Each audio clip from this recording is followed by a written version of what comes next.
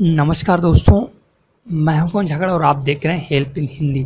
दोस्तों, मैं आपको इस वीडियो में आज बताने वाला हूँ कि आप अपनी बेटी को एक लाख का अनुदान कैसे दिला सकते हैं। अगर आपके घर में कोई कन्या है या आपके घर में कोई बेटी है और उसको आप सरकार के द्वारा एक लाख अठारह हज़ार रुपये कैसे दिलवा सकते हैं जब वो 21 साल की हो जाएगी। मैं बात करने वाला हूँ आज इस वीडियो में लाडली लक्ष्मी योजना की।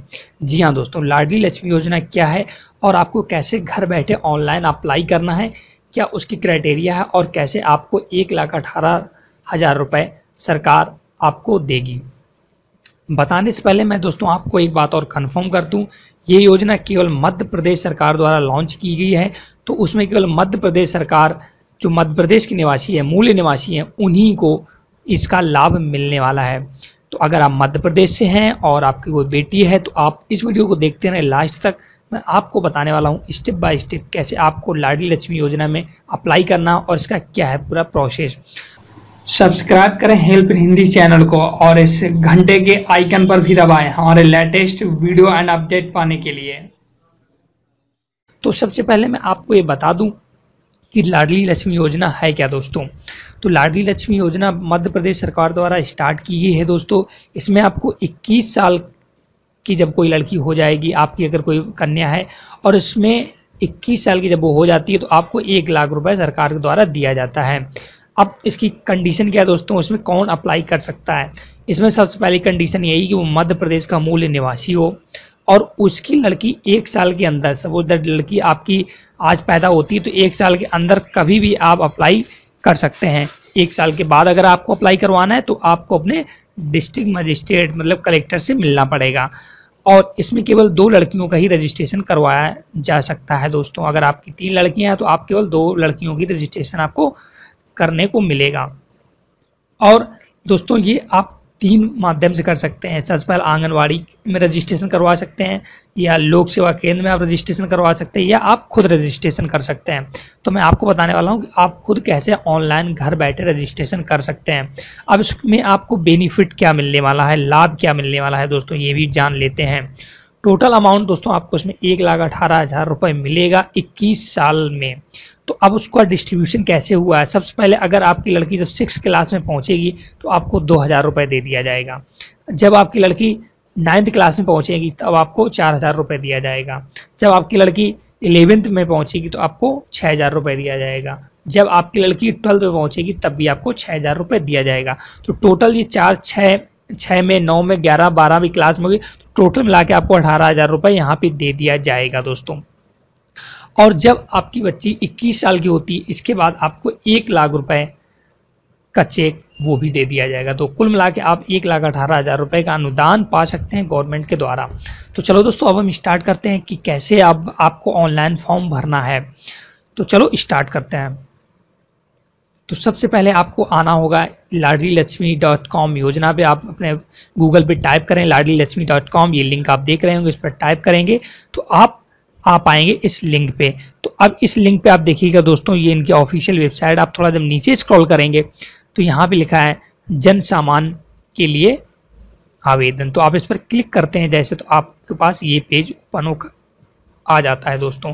लाडली लक्ष्मी योजना या ई लाडली भी इसको बोलते हैं।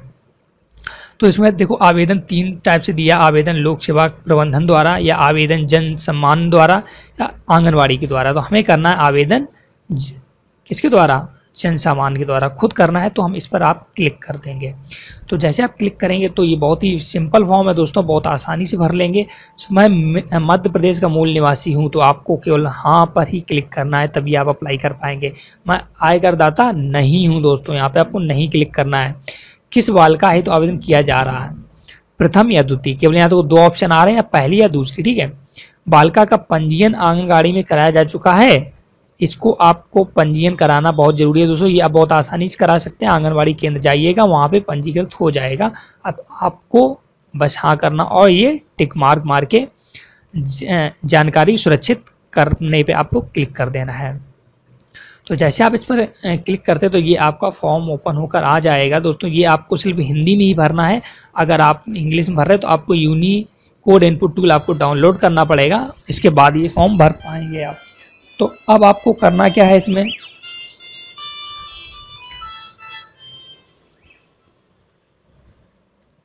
तो सबसे पहले यहाँ पे आपको बालिका का व्यक्तिगत नाम भरना है। बालिका का उपनाम क्या है? बालिका की जन्म तिथि भरनी है। बालिका की यहाँ पे कहाँ पे अस्पताल में जन्म हुआ है या घर पर हुआ, ये डिटेल भरने के बाद बालिका के माता का नाम, माता का उपनाम, माता की आयु, पिता का नाम, उपनाम, आयु, आधार संख्या दोनों लोगों को भरनी है।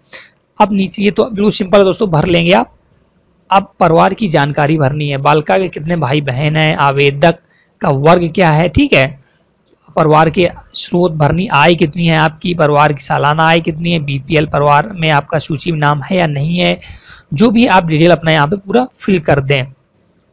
अब अब नीचे आते हैं। बालिका के टीकाकरण की स्थिति। ये आपको चुनना है। आपने बालिका का टीकाकरण कराया है या नहीं कराया? अब पत्रचार हेतु जानकारी, मकान नंबर, आंगनबाड़ी, ये पूरा अपना डिटेल भर देना है, जो भी है। अगर आपको इसमें कुछ भी नहीं पता है तो सब कुछ पता है, आपको पूरे इसमें अपना डिटेल भरना है। अब निम्न प्रमाण पत्र डाउनलोड, अपलोड करें दोस्तों। बालिका का टीकाकरण कार्ड, जच्चा बच्चा कार्ड इसको बोलते हैं, जो कि आंगनबाड़ी से बनता है, यहाँ पे आपको अपलोड करना पड़ेगा।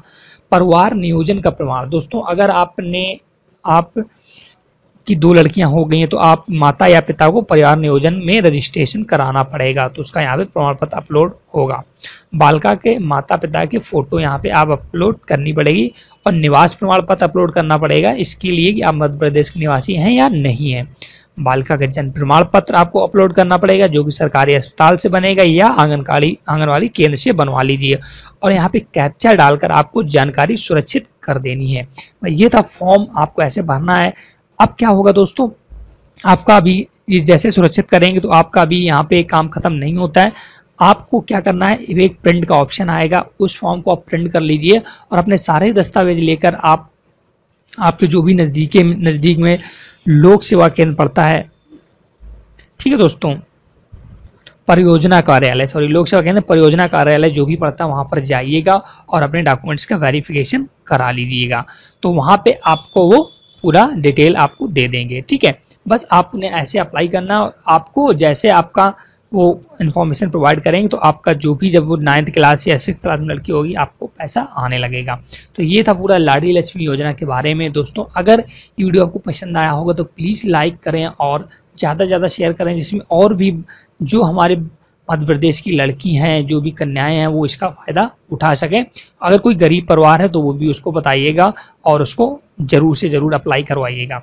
तो प्लीज़ लाइक करें इस वीडियो को और शेयर ज़्यादा से ज़्यादा करें। इसमें और भी लोग इस योजना का लाभ उठा पाएँ जो भारत, जो सरकार प्रोवाइड करवा रही है। तो मिलते हैं दोस्तों अगले वीडियो में और तब तक के लिए नमस्कार। अगर आपने अभी तक मेरा चैनल सब्सक्राइब नहीं किया है तो इस रेड कलर के बटन पर क्लिक करिएगा और मेरे चैनल को सब्सक्राइब ज़रूर कर लीजिएगा।